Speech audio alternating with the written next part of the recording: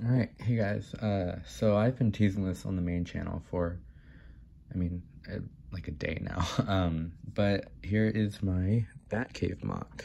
Um, as you can see, it's like, it's pretty much based around the 2019 Batcave with the computer, the little, I don't even know what the thing's called, like the dropper, the droppers thing. I don't know. The, that drops him down from up here to down here. And the jail cell over here. Um, but then I, I just added a bunch of stuff to it. So I'll give you a little bit of a tour. Um, down here, here I use like the, sorry, I use the Ninjago City method of like tiling off the water. I did it over here too. I added a little rock in the middle. There's a little hole over there. I'm gonna have to fix that. Um, anyway, up here, here's the back computer. It's pretty, it's unchanged from the set version. Uh, here's Batman over here with his trophy, trophies. Uh, you got the Joker card, the giant penny, and the dinosaur, um, and then a little bit of kryptonite back there in case Superman stops by. Um, again, here's the jail cell. Here's the Monkie Kid set. Um, not all this stuff could fit, and as you can see, it's like raised above the actual base plate quite a bit.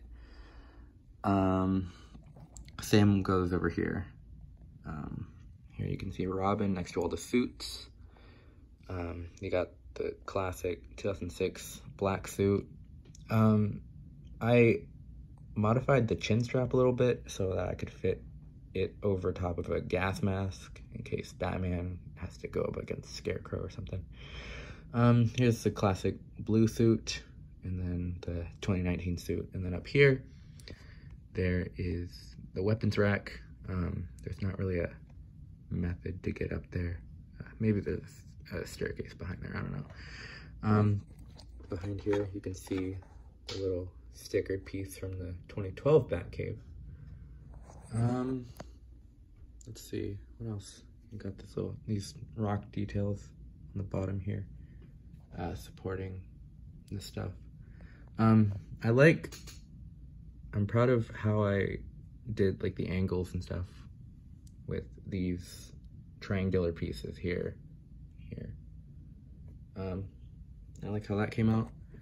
Um, there's not really much else to talk about. Um, obviously, for this to be a proper cave, there would need to be, you know, rocks all the way around. I don't know how I'll do that for videos, if I'm just gonna order a crap ton of rock pieces or if I'm just going to use a green screen or something. I don't know.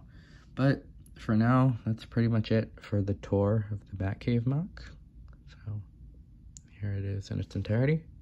And I'll see you later.